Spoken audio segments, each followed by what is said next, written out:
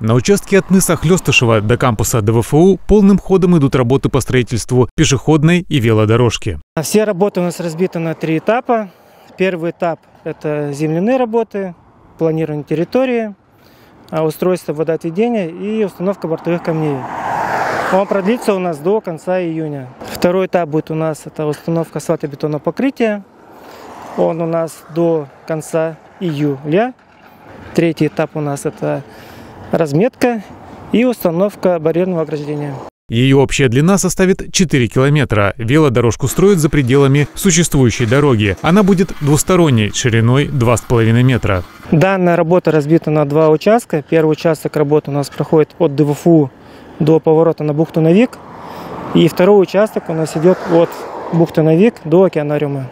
Новая велодорожка соединится с уже существующей на мысе Хлестышева. Таким образом, у велосипедистов, роллеров и самокатеров будет возможность пользоваться непрерывным пространством, длина которого составит 6 километров. По план-графику выполнения работ мы должны все закончить к 30 августа, но идем сейчас с опережением и вполне возможно, ну, вероятнее сдадим намного раньше. Строительство велодорожки стало возможным благодаря средствам специального казначейского кредита, предоставленного Приморскому краю для реализации крупных инфраструктурных проектов.